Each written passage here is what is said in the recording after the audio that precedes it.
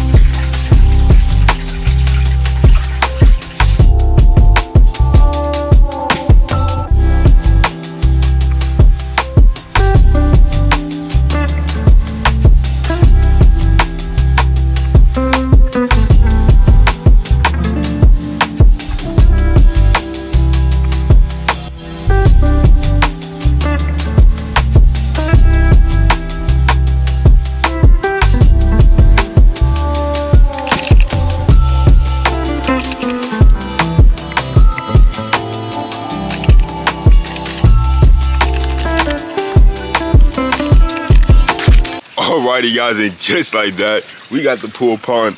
He's like, I'd say 25% finished, because guys, we just put the sand in there, and y'all, it is looking sick. Look at that. Um, It is a little bit murky, and I do have a little bit more sand left. I'll probably end up adding it to the turtle enclosure. But look at that thing, guys. It is looking amazing, guys. I can't wait until we get some monster fish for here. As y'all can see, let me, let me see if we can run up on a little guppy. You can see.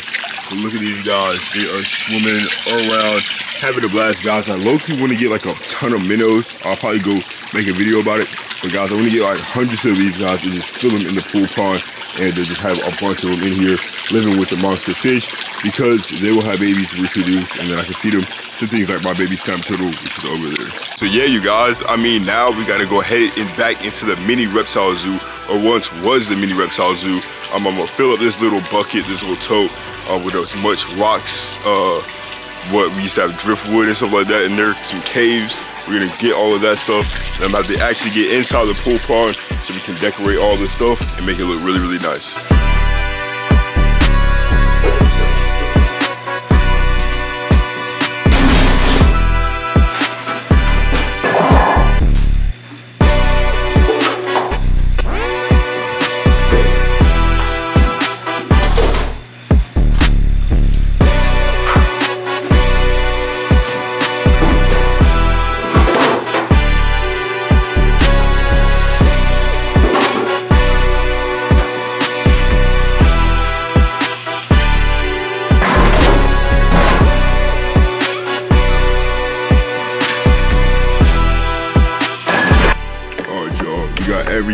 Right here, this little toe. You know, I got a heated pad for rock for my boy Apollo. And, uh, yeah, this all the way back to my backyard, so let's get it.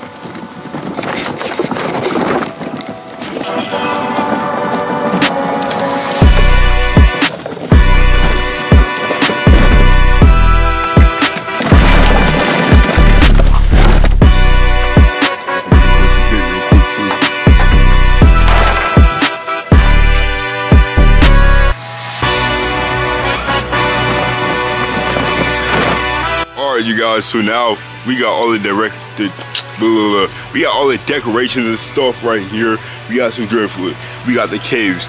We got some slates and stuff that I could just kind of lay out in the pond. Um, yeah, I mean, some of the stuff won't be going in here. Like this right here will be going in my green iguanas enclosure. And then this stuff right here will be going in my boy Apollo's enclosure, just so at night he can stay really, really warm. And uh, yeah, without further ado, let's get all this stuff in the pond.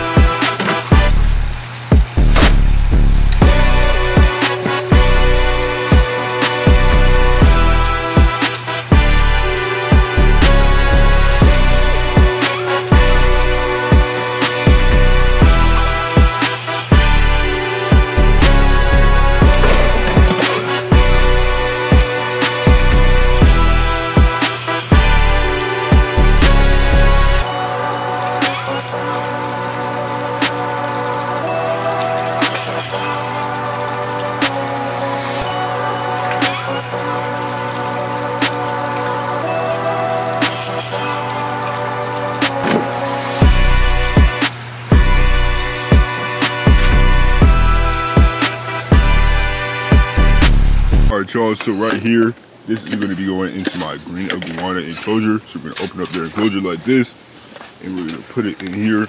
Loki just wanna put it all the way back here. Let me show y'all the little spot. Alright, there we go. I'm gonna put it like right back there, as you can see. So now they have another hiding spot they can go hide in. Alright, here we go. Close it. There we go. Alright you guys, so we just added the heating pad for my boy Apollo. And uh, you know, it's too short, so let me go back in this enclosure. Gotta move some things around just to make the wire just a little bit longer. And uh, yeah, let me close the door behind me so my boy don't run out. As you can see, he's in his water right there. This guy has been loving his new enclosure. But I think it's just this board right here. Pull that down.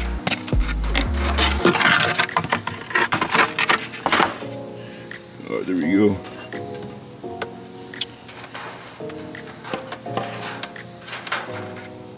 Alright, here you go, guys. Now, I think it's finally long enough to pull. Okay, yeah, we should be good. And we're gonna put it right here in this second one. And uh, yeah, the only two things that I have plugged up in this thing is literally just two heating pads. One for the iguanas and one for right here. All right, you guys. Oh, it is right out here. Yeah, you guys, so we just uh, added the little heating pad and stuff in here for my boy Apollo. Cause guys, at night, well, in the morning, not even at night, really like 4 to 5 a.m., it gets down to like 72.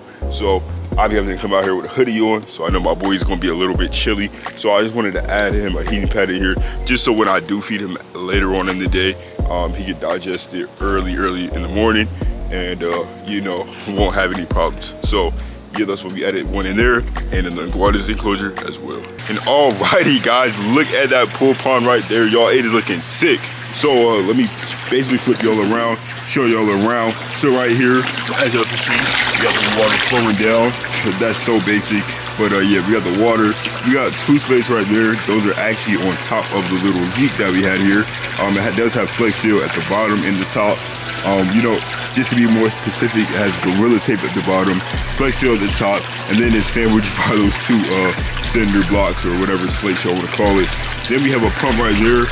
Um, it's sucking into the UV filter, pushing out all the way down here. And then we have another uh, 800 gallon pump pushing water over here. So it's just going circle all the way around, just like that. And then over here, once you get right here, guys, this is, is like basically a littler cave. Um, my red can hide in there, littler fish. Um, it's basically about that tall, so littler fish can basically get up underneath their hide. And uh, as y'all can see, the water is flowing down here. And then right over there, we have the bigger cave. You can go in there. I'm gonna have a little basking spot for the turtles. Cause I know y'all have a bunch of turtles that's gonna be in here as well. So they can get up there, bask, do their thing, jump back in the water. And uh, we have some floating plants like these little flowers all around as well. And uh, I mean, that's basically it for the 800 gallon outdoor pool pond. All right, you guys, and today we are reading Proverbs chapter 16, verse 9.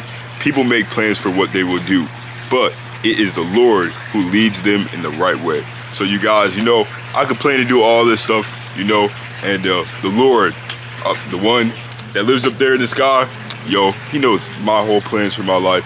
And uh, these are just my plans, and uh, y'all, he has the ultimate plan for me. I don't even know what he has planned for me in my life. So yeah, you guys, trust in God, and I uh, hope y'all absolutely enjoyed today's episode. Don't forget like, subscribe, comment down below, guys. We're almost monetized here on YouTube. I am literally achieving my dreams, guys. So watch it, y'all. You know, I'm just a 17 year old, well, about to be 17 year old kid, and uh, just chasing my dreams. And uh, yeah, guys, hope y'all enjoyed.